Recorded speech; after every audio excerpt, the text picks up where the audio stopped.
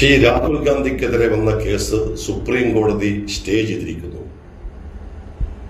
ഇത് ഇന്ന് ഇന്ത്യയിലെ ജനാധിപത്യ വിശ്വാസികൾക്കും കോൺഗ്രസിനും ഇന്നൊരു മഹത്തായ ദിനമാണ്. കാരണം ഈ വിധിയിലൂടെ നമ്മുടെ രാജ്യത്തിന്റെ ജനാധിപത്യ ബോധത്തെയും ഭരണഘടനാ മൂല്യങ്ങളെയും ഉയർത്തിപ്പിടിക്കാൻ ബഹുമാനപ്പെട്ട സുപ്രീം കോടതിക്ക് കഴിഞ്ഞു എന്നാണ് നമ്മൾ വിലയിരുത്തുന്നത്. ശ്രീ രാഹുൽ ഗാന്ധിക്കെതിരെ ഉണ്ടായ ഈ കേസിന്റെ പശ്ചാത്തലം പരിശോധിക്കുമ്പോഴാണ് ഇത് നമുക്ക് കൂടുതൽ വ്യക്തമാകുന്നത്. രണ്ടായിരത്തി പത്തൊമ്പതിൽ കർണാടകത്തിലെ തെരഞ്ഞെടുപ്പുമായി ബന്ധപ്പെട്ട് കോളാർ എന്ന് പറയുന്ന സ്ഥലത്ത് വെച്ച് ശ്രീ രാഹുൽ ഗാന്ധി നടത്തിയ ഒരു പ്രസംഗമാണ് ഈ കേസിന്റെ അടിസ്ഥാനം. അന്ന് ശ്രീ രാഹുൽ ഗാന്ധി നീരജ് മോഡി ലളിത് മോഡി ശ്രീ നരേന്ദ്രമോദി എന്ന് പറയുന്ന വ്യക്തികളുടെ പേരുകൾ പരാമർശിച്ചിരുന്നു. അവരുടെ പേരുകൾ പരാമർശത്തിന് എതിരെയാണ്. അത് അവരുടെ പേരുകൾ പരാമർശിച്ചു എന്ന കാരണം കൊണ്ടാണ്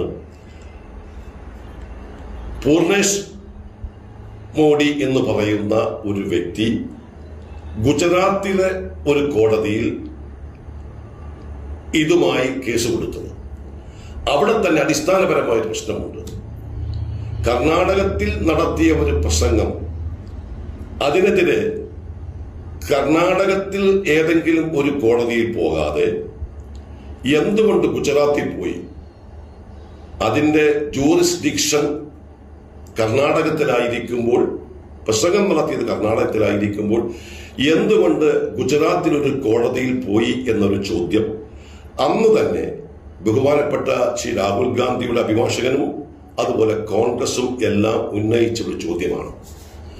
അന്ന് ഗുജറാത്ത് കോടതി ഗുജറാത്തിലെ ട്രയൽ കോടതി രാഹുൽ ഗാന്ധിക്കെതിരെ വിധി പറഞ്ഞത് അദ്ദേഹത്തെ രണ്ടു വർഷം അയോഗ്യനാക്കി എന്നതാണ് ആ രണ്ടു വർഷം അയോഗ്യനാക്കിയതിന്റെ അടിസ്ഥാനത്തിലാണ് രാഹുൽ ഗാന്ധിയുടെ എം പി സ്ഥാനം നഷ്ടപ്പെട്ടത്.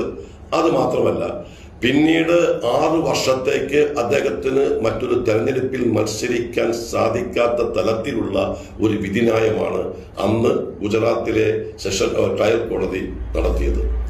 ഇതിനെതിരെ സെഷൻ കോടതിയിൽ പോയപ്പോഴും ഹൈക്കോടതി ഗുജറാത്തിൽ ഹൈക്കോടതിയിൽ പോയപ്പോഴും ഈ ട്രയൽ കോടതിയുടെ വിധിയെ ന്യായീകരിച്ചുകൊണ്ടുള്ള വിധിന്യായമാണ് അവിടുത്തെ ഗുജറാത്തിലെ സെഷൻ കോടതിയും ഗുജറാത്തിലെ ഹൈക്കോടതിയും നടത്തിയത്. ഈ വിധികൾക്കെതിരെയാണ് ബഹുമാനപ്പെട്ട ശ്രീ രാഹുൽ ഗാന്ധി സുപ്രീം കോടതിയിൽ പോയത്. ഇന്ന് സുപ്രീം കോടതിയുടെ വിധി വന്നിരിക്കുന്നു. ആ സുപ്രീം കോടതിയുടെ വിധി വന്നപ്പോൾ ഒരു കാര്യം വളരെ വ്യക്തമായി സുപ്രീം കോടതി ചോദിച്ചിരിക്കുന്നു. കാര്യം defamation case I P I P C നാനൂറ്റി തൊണ്ണൂറ്റി ഒൻപത് വകുപ്പ് പ്രകാരമാണ്. നാനൂറ്റി തൊണ്ണൂറ്റി ഒമ്പത് വകുപ്പ് പ്രകാരം രണ്ട് വർഷത്തേക്ക് അയോഗ്യനാക്കാനുള്ള എന്ത് തെറ്റാണ് ശ്രീ രാഹുൽ ഗാന്ധി നടത്തിയെന്ന സംശയമാണ് ബഹുമാനപ്പെട്ട സുപ്രീം കോടതി പ്രകടിപ്പിച്ചിരിക്കുന്നത്. അതുകൊണ്ടാണ് സുപ്രീം കോടതി ചോദിച്ചിരിക്കുന്നത്. ഒരു ദിവസത്തെങ്കിലും കുറഞ്ഞ കുറച്ച് കുറച്ച് ഒരു വിധി പറയാൻ എന്തുകൊണ്ട് ഹൈക്കോടതി തയ്യാറായില്ല എന്ന ചോദ്യം ചോദിച്ചു. അതുമാത്രമല്ല ഈ വിധിയുടെ പശ്ചാത്തലത്തിൽ വെച്ച് പശ്ചാത്തലത്തെ സുപ്രീം കോടതി വിലയിരുത്തിയത് അദ്ദേഹത്തെ തെരഞ്ഞെടുത്ത നിയോജമണ്ഡലത്തിലെ ജനങ്ങളോട് കാണിക്കുന്ന അനാദരവാണ്. അവരുടെ അവകാശത്തിനെതിരെ ക- ഉള്ള കടന്നുകയറ്റമായിട്ടാണ് ഈ സുപ്രീം കോടതി ഈ ഗുജറാത്ത് കോടതികളുടെ വിധിയെ ബഹുമാനപ്പെട്ട സുപ്രീം കോടതി വിധി വിലയിരുത്തിയത്. ഇത് നമുക്കറിയാം ഇത് ഈ വിധിയുടെ സുപ്രീം കോടതി ഇവിടെ ഉയർത്തിപ്പിടിച്ചത് അതിന്റെ നിയമപ്രശ്നവും അതുപോലെ അതിന്റെ യുക്തിയുമാണ്. ഈ യുക്തിപരമായും നിയമപരമായും സുപ്രീം കോടതി നടത്തിയ ഈ വിലയിരുത്തൽ രാഹുൽ ഗാന്ധിക്ക് അനുകൂലമായി വന്നു എന്ന് മാത്രമല്ല ഇത് രാജ്യം ഭരിക്കുന്ന ബി ജെ പി ഗവൺമെന്റിനും ബി ജെ പി എന്ന് പറയുന്ന രാഷ്ട്രീയ പാർട്ടിക്കും മസ്തകത്തിന് കിട്ടിയ ഒരു അടിയാണെന്ന സംശയമില്ല. കാരണം ഈ നമുക്കറിയാം ഇന്ത്യയുടെ ഇന്ത്യ പരമോന്നത സുപ്രീം കോടതി ആരാ വിധി പറഞ്ഞിരിക്കുന്നത്? സുപ്രീം കോടതിയിലെ മൂന്ന് ജഡ്ജിമാർ justice P R Gavai justice P R Narasimham justice P S Sajay Kumar എന്നടങ്ങിയ ഒരു ഡിവിഷൻ ബെഞ്ചിന്റെ വിധിയാണ്.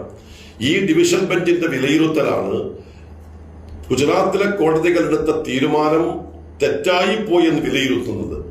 അതുകൊണ്ട് സുപ്രീം കോടതി നടത്തിയ ഈ നിരീക്ഷണവും സുപ്രീം കോടതി നടത്തിയ ഈ വിധി വിധിയും നമുക്കറിയാമത് രാഹുൽ ഗാന്ധിക്കും കോൺഗ്രസിനും മാത്രമുള്ള നേട്ടമല്ല. നേരെ മറിച്ച് ഇന്ത്യൻ ജനാധിപത്യത്തിനും ഇന്ത്യയുടെ ഭരണഘടനാ മൂല്യങ്ങളുടെയും ഒരു വിജയമായി കാണുന്നു. നമ്മൾ റൂൾ ഓഫ് ലോയാണ് നമ്മുടെ നമ്മുടെ നാട്ടിലുള്ളത്. ആ റൂൾ ഓഫ് ലോ മരിച്ചിട്ടില്ല. പരമോന്നത നീതിപീഠമായ സുപ്രീം കോടതിയുടെ നില സുപ്രീം കോടതിയുടെ നീതി ലഭിക്കും ജനങ്ങൾക്ക് എന്ന ഒരു പ്രഖ്യാപനം കൂടിയാണ് ഒരു വിലയിരുത്തൽ കൂടിയാണ് ഈ ഈ ഇന്നത്തെ ബഹുമാനപ്പെട്ട സുപ്രീം കോടതിയുടെ വിധിയിലുണ്ടായിരിക്കുന്നത് ഇത് കോൺഗ്രസിനും ഇന്ത്യൻ ജനാധിപത്യത്തെ വിശ്വാസികൾക്കുമുള്ള ഒരു വിജയമാണ്. അതോടൊപ്പം തന്നെ ഞാൻ വീണ്ടും ആവർത്തിക്കുന്നു. ഇത് രാജ്യം ഭരിക്കുന്ന ജനാധിപത്യ മൂല്യങ്ങളെയും ഭരണഘടനാ മൂല്യങ്ങളെയും ചവിട്ടിമതിച്ച് മുന്നോട്ട് പോകുന്ന ബി ജെ പി ഭരണകൂടത്തിനും അവരുടെ എതിരായിട്ടുള്ള ശക്തമായൊരു പ്രകരം കൂടിയാണ് ഈ കോടതി വിധിയെ കാണുന്നത്.